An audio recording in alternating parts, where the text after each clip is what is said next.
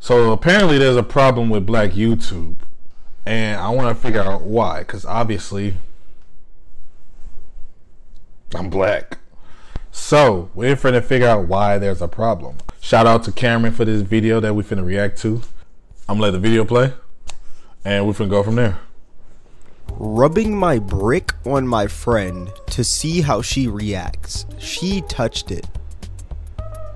What the fuck? There's a problem with YouTube, specifically black YouTube. Black YouTube sucks. When it comes to black YouTube, I feel like there's two sides. There's one side with these amazing content creators like Corey X Kenshin, Berleezy, AMP, RDC, and many others. And then you got this other side with these creators that don't care about their content at all. All they care about is the money that comes with And YouTube. And all their videos are just based around sexual things. One side is like that homemade burger that takes hours to make, and the other side is like that $2 McDonald's burger that tastes good for about 5 minutes, but the next day you feel like absolute it's kind of like yin and yang, you know? And in today's video, I'm going to be talking about that other side of black YouTube, the terrible side. Now, when it comes to the black community and content creation, I feel like every single idea can't just be a normal idea, you know? There always has to be some sort of sexual spin. to it. You can't just do a normal truth or dare. It has to be a freaky truth or dare. You can't just go on a blind date. It has to be a freaky blind date. The other day, I literally seen a video titled, I put my freaky ass parents on a blind date. We are getting to the point in content creation where we're putting our parents on Yo. blind dates and it has to be freaky. That is absolutely weird if I'm being honest with you. Another trend that's pretty big in the black community are 20v1s. These videos hit the black community harder than crack in the 80s. I can't tell you how many black content creators I've seen milking the absolute life out of 20v1s. Now, if you don't know what a 20v1 is, when I tell you, listen, it's annoying. Annoying as hell. Don't get me wrong. I'm not you. You make your money. Make your money. You, you that's your hustle. I don't knock anybody's hustle for sure. As a consumer though, shit's annoying. It's cringy as hell, and it's just I've never really had any type of interest in it. I've never was really like I seen this was it? Um the loyalty test where a dude is pretty much testing the loyalty of two best friends and and whoever's boyfriend whatever. I mean 2 minutes after watching it, I just wanted to like just close the laptop and and freaking walk away. But it's the fact that I wasn't watching it necessarily. It was off of my homegirl's laptop. She was watching it. And I'm, I'm not going to lie, I felt like I was losing brain cells just watching. And growing up, I just never really watched that type of content. I never found it entertaining. I never found it funny. I found it as cringe as some TikTokers. Is well it's basically like a speed dating show where 20 people speed date one person and by the end of the show that one person picks their favorite out of the 20 people. I'm pretty sure this video idea was like created by jubilee popularized by the sidemen and then the black community just Yeah. took it by storm. Now don't get me wrong there are some genuinely funny 20v1s out there but then you got channels out here who are posting 20v1s every single week. For example no love mar. Now if you don't know who no love mar is well he's a pretty big black youtuber who has I've seen his face, though. Million subscribers. But when you take I've a look at this man's around. channel, basically On all of his TikTok, of videos are 20v1s. I wouldn't be surprised if this man changed his name to Cupid, the way he's helping out everyone find love. I wouldn't be surprised if this man did a 20v1 with the whole entire United States for his next video. Honestly, at this point, this man should put me in a 20v1 to help me find some action. Like, come on. And what's crazy is that this man is so obsessed with 20v1s that he literally jumped another YouTuber because they made a 20v1 with Chrisean Rock and he wanted to do that idea first. I mean, there's literally entire videos of him and his crew just pulling up to their studio, them beating up the other guys, and them taking the camera and the footage so it doesn't get uploaded to YouTube. Number one, what happened to Shame? Who genuinely wants to speed date the Snaggletooth demon? What? Are you serious, bro? Bro. It does not get that serious. It does not get that serious. That's what happens when you're too focused on views and too focused on on trying to get money. I don't know. Mm. Mm-mm. In Chrisean Rock, that woman is literally the embodiment of a Neanderthal. And number two, why are you out here jumping other YouTubers because they're about to upload an idea before you? Just be more creative and make something other than 20v1s. And maybe you wouldn't have to resort to jumping people because they make the same style of content as you. Imagine if Moist Critical got to a top. It don't even matter. I fought him because of that. Pause. It don't even matter. It don't even matter if they did make the same video. Not that serious.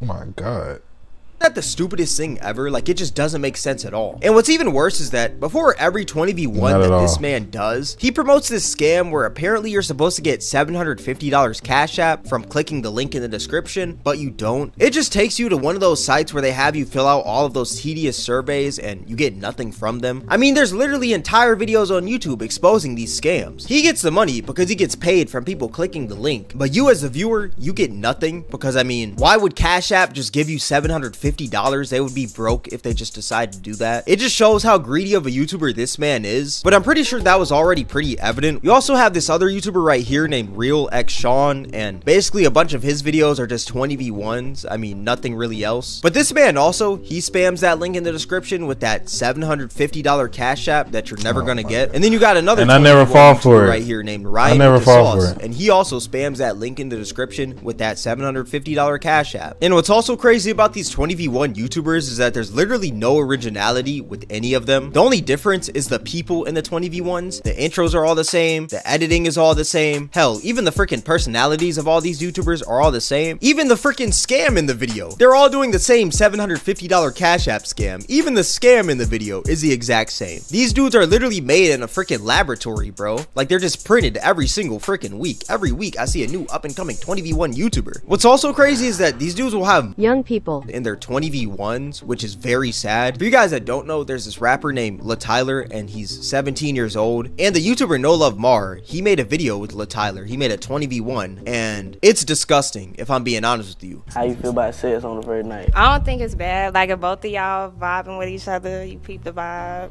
We grown. We grown.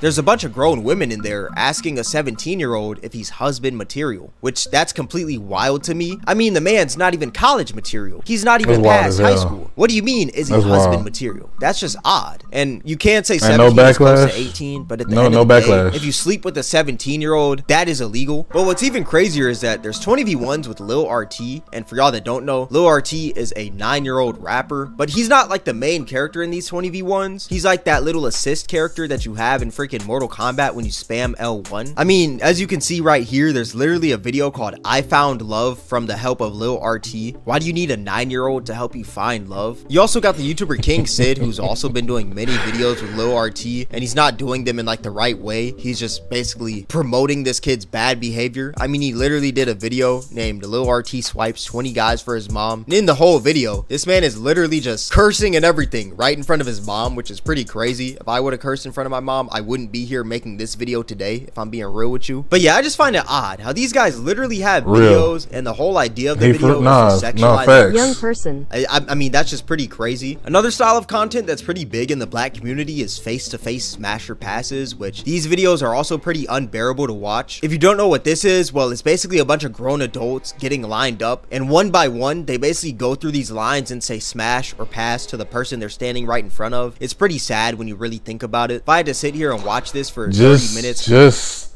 going through him, he's just explaining about these videos, and I'm already just want to click away and and watch something else. It's that bad. It's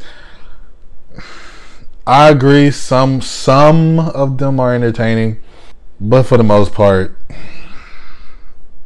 It's it's just I it's, I feel like I just get stupider. I'm not gonna lie to you. It's it's not entertaining and it's it's I don't know.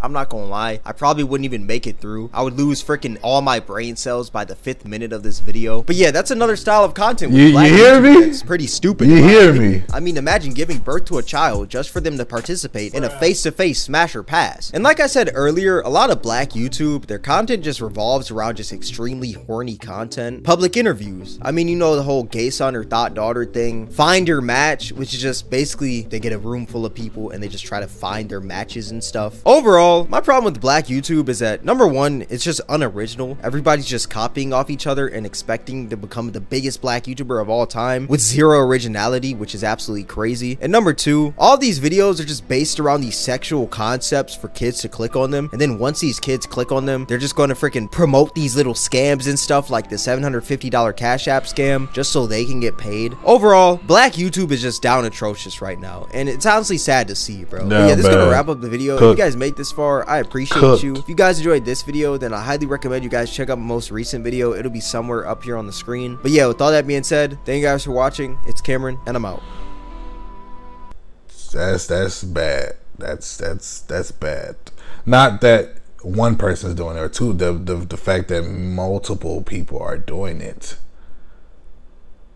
and it's sexualized. It's nothing but carnal BS. Like I said earlier, like growing up, I wasn't really of a YouTube person to begin with. I didn't watch YouTube like that, like my for entertainment. But if I did watch YouTube, it was never that. It, if anything, I aspire and admire the black YouTubers like AMP, RDC. The reason why they're great and the reason why they are who they are is because they make great content. Good, great content. I like those black YouTubers. Those other black YouTubers, that's just just cringe and that's that's literally proof that they don't give up. They don't care. They only care about the views and the money. The whole gold digger pranks wasn't entertaining to me. The whole loyalty test, none of that was entertaining to me. I wanted to steer away from even making reaction videos just because I felt like everybody's doing it, which everybody is, but it is a big part of YouTube. Reaction videos is definitely a big part of people's channels, their YouTube, and their growth. It's it's a way to get your name out there and for people to know who you are, your your brand, your name, your face. So I it's just inevitable for me to start making reaction videos. But if I had to do any of those type of content just to make it in YouTube, I wouldn't be doing YouTube. I promise you that. That's I feel like that's still high school shit in my opinion. That's that's still high school stuff. Again, shout out to Kameron for that video. If y'all want some some laughs, if you wanna if you want some laughs, I got a video right here that you can go to. That's it for this video though. I'm I'm done ranting.